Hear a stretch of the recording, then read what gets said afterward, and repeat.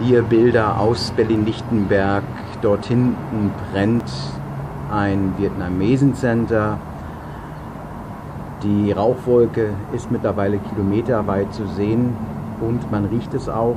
Zurzeit gibt es wohl keine Verletzten und das ist gut so.